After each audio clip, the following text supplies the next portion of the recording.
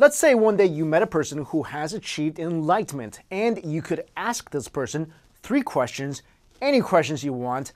What would they be? Mine would probably be uh, What is the meaning of life? Why is Kim Kardashian a celebrity? What happens after you die? So we all die. That's something we all have in common. I mean, as soon as you're born, the countdown begins. If you think about it, birthdays, the day you celebrate and uh, eat cake, they're just markers to your eventual death. Of course, different religions and beliefs talk about what happens after you die, and the options are basically heaven, hell, reincarnation, or you're just dead. Usually, science, which, if you think about it, is itself a belief system, you just die. Nothing else happens. You're in the ground and you're warm food. But now, a scientific study supports the notion that there may actually be life after death.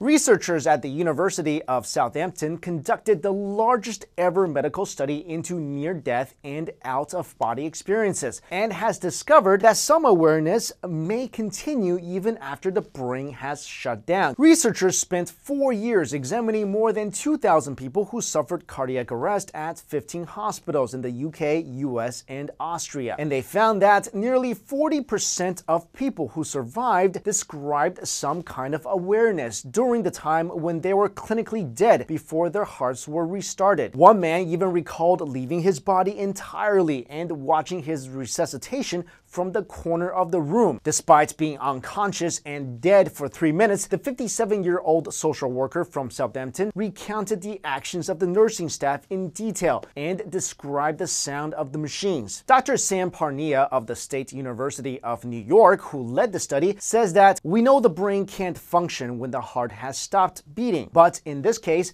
conscious awareness appears to have continued for up to three minutes into the period when the heart wasn't beating, even though the brain typically shuts down within 20 to 30 seconds after the heart has stopped. The man described everything that had happened in the room, but importantly, he heard two bleeps from a machine that makes a noise at three minute intervals, so we could time how long the experience lasted for. He seems very credible, and everything that he said had happened to him had actually happened. Of the 2060 cardiac arrest patients studied, 330 survived, and of 140 surveyed, 39% said they had experienced some kind of awareness while being resuscitated. Although many could not recall specific details, some themes emerged. One in five said they had felt an unusual sense of peacefulness, while nearly one third said time had slowed down or speeded up. Some recalled seeing a bright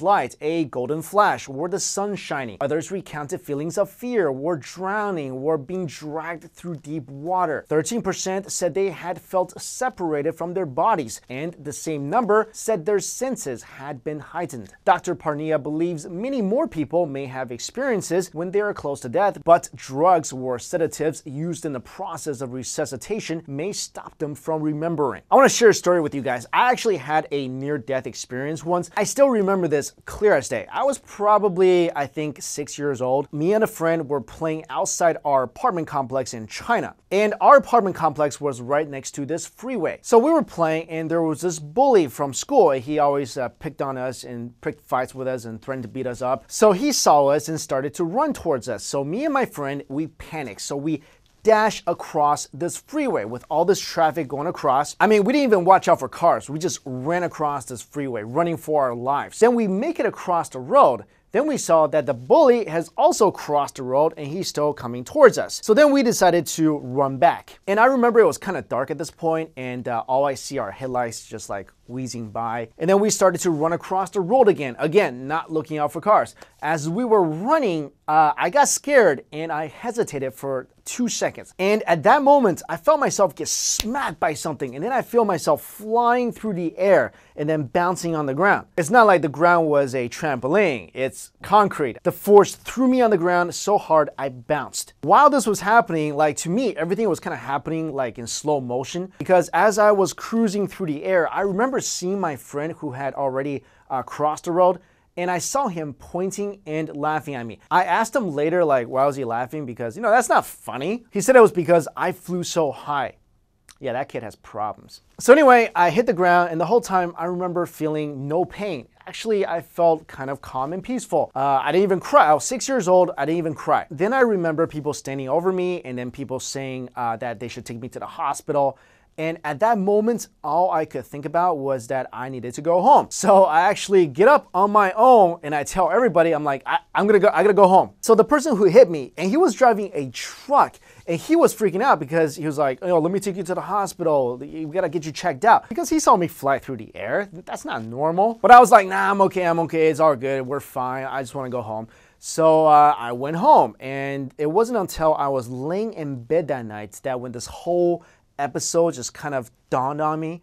And then I started crying and I was wailing. I was like, Mom, I was just hit by a truck. But then my mom starts freaking out and then she takes me to the hospital and they check me out and nothing. Like couple of scratches, that was it. There was nothing else wrong with me. So anyway, that was my near-death experience story that I want to share with you guys. And I definitely believe that there's life after death. I don't buy that we just die, you know? I believe in reincarnation. I believe in karma and cultivation, like cultivating yourself to a higher consciousness. Basically, Buddhism principles. But anyway, let me know what you guys think about this study. Do you believe that there is life after death? And if you have any near death experience stories, please share them with us either in the comments below or I have a new Facebook page, so uh, post it on the Facebook page. Thanks so much for watching, guys. See you later.